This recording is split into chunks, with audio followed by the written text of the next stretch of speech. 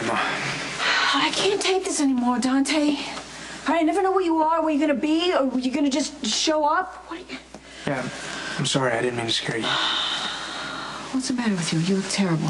Talk to me. I, uh, I need your advice. What? Well, this case is probably going to be over very soon. I found a way to make it happen, but there's a catch. I'd have to put a son against his father. Here you go. I'll do my best to listen without making any judgments. Oh, where to start? Well, Lucky Spencer knows I'm undercover. Come on. How did that happen? Uh, he caught me using the PCPD computer to find out more about that weird artist Franco. Turns out I busted him when I was working. Oh, great. So, so not taking down the Corinthos organization just isn't quite enough for you? Look, I kept seeing this tag all over town, CO77X. I got curious. He caught me trying to find out more about this guy. You do know that Sonny and Luke have been dear friends for many, many years, right? Yeah. But that's not the father and son I'm talking about. Lucky thinks Michael knows who killed Claudia, and I agree. Michael definitely knows more than he's saying. So you're talking about Sonny and Michael? If Michael can prove Sonny killed Claudia, that's the last piece of evidence I'll need. But, and I never expected myself to be saying this, do I have the right to put Michael up against his own father? Admires his father. I mean, he tries to be just like him, all cold and shut down. I heard the guys used to call him Little Sonny. Not in front of the boss, of course. The last thing Sonny wants is for his kids to be like him. Well, a parent would do anything to keep the kid from becoming a gangster. You know, Michael doesn't have Sonny's ice cold focus, though. He's a tough kid. I mean, he survived what would have killed most people, but he's impulsive. He takes things to heart. He attacks without thinking, and he tends to run away from all his problems. We're talking about a 17-year-old kid, right? Michael's never had to fend for himself. Whatever he does, he believes Sonny can fix it. Because that's what Sonny's been telling that poor kid his entire life. Now, Michael pretends to have it all together when he's around Sonny, but you know, any decent cop could easily break him down. He wants to talk. He's right on the verge. But if he gives up evidence that could get Sonny put in prison, I mean, that kid would be destroyed. He already blames himself for everything that goes wrong. Sonny does the same thing. So what should I do? I mean, is making my case worth making a kid betray his own father? There is no good solution to this.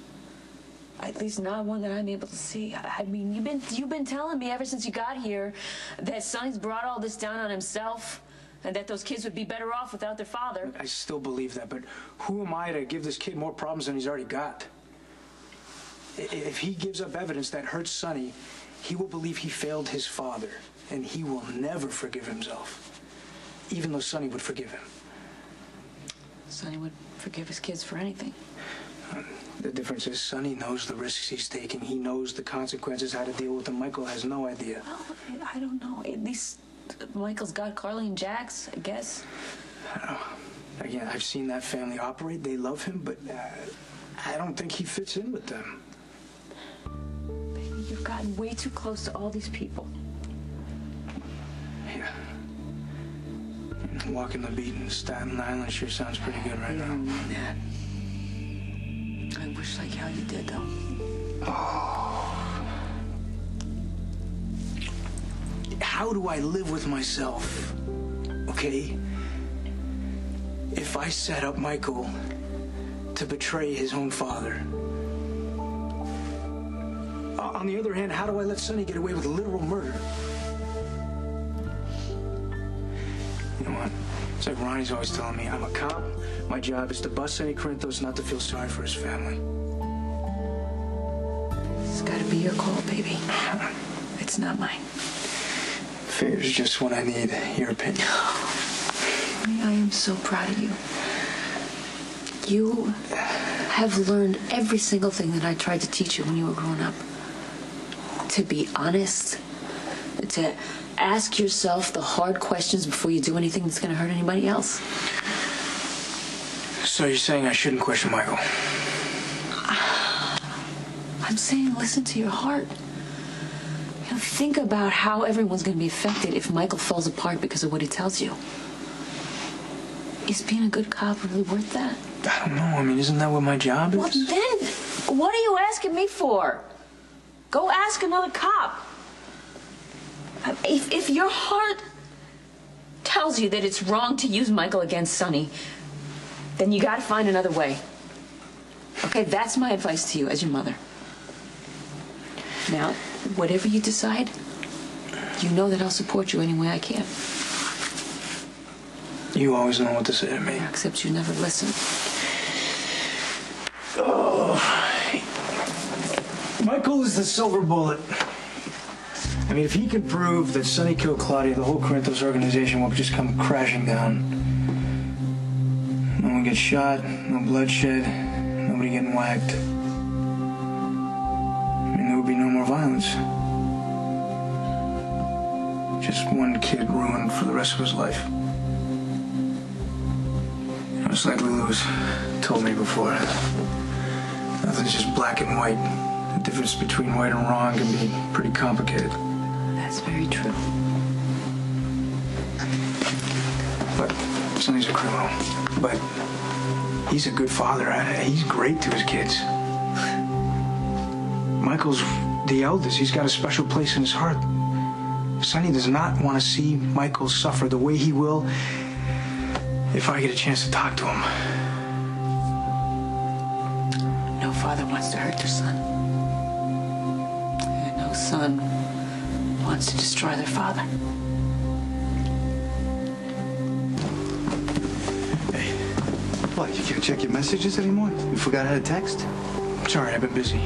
Doing what? Look, I, I want this bus as badly as you do, but I've already risked my life giving you plenty enough for a warrant. Well, the judge didn't see it that way. The truth is, if I push any harder, I might end up right next to Claudia Zacchara. Which would be where? I'm working on it. Look, I know you're frustrated, okay? But we are so close on the Claudia Zacchara murder. You've you've given me a fragment of the bloody shirt that Sonny wore the night it happened, and a recording where Sonny comes so close to incriminating himself. All we need is one more good piece of evidence. I may found a witness. About this witness, do I need to get a subpoena?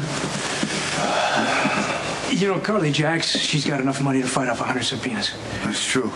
Besides, an ex-wife never makes a good witness. Uh, there's got to be an easier way. Uh, maybe, maybe a housekeeper or or a guard who's having second thoughts. No, Sonny's people are way too loyal. What about one of the kids? Maybe they overheard something in the house. Well, you, you think you're gonna get a warrant off some hearsay from a kid? No, and Sonny doesn't talk about business around the kids. So you're sure that the only witnesses in the murder are Carly, Sam, and Jason? Unless you want to count Claudia. We'll find out where she's buried. Well, I, I don't think she's gonna be able to say very much. We'll see what you can do. Because if we can't find a witness, we'll have to settle for a corpse. Hey, sorry for the delay. I just got your message. What's going on? Situation with Claudia just got more serious. Well, because of the cops? No, because of the, the whack job Franco is focused on Jason for whatever reason, and Jason's letting him get to him. And uh, I just need you to back Jason up. Okay. I need you to, you know, make sure Jason's doing what he needs to be done. I- I'm, I'm going to trust you on this. Don't mess up. I will not mess this up. Okay, what we want to do, we want to go cover our tracks, go to the Pine Barrens where the body was buried. Make sure no one's sniffing around out there.